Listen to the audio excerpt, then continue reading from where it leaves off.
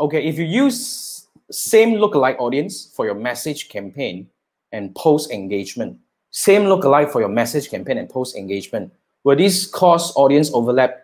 Uh, to be frank, when you're using the same lookalike audiences for not more than two to three, I think it's pretty fine. Unless you're spending big, then you might be hitting into audience overlap. But fundamentally, when it comes to audience for audience overlap, right, it is actually coming back to the same campaign over audience overlap between the ad sets, but you are using the same audience for multiple campaign, then definitely one thing I can be for sure here is both campaign will be competing among each other in one way or another.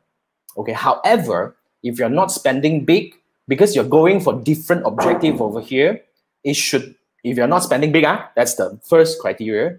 And then, uh, even though you are actually using the same audience for two different objective, it should be still working fine. Okay, so all you need to do is you want to monitor separate campaign to see there is any you know uh, shaky in terms of your CPM. If all the CPM and all the metrics remains okay, then I think we can actually keep this going. Yeah, that's what I think.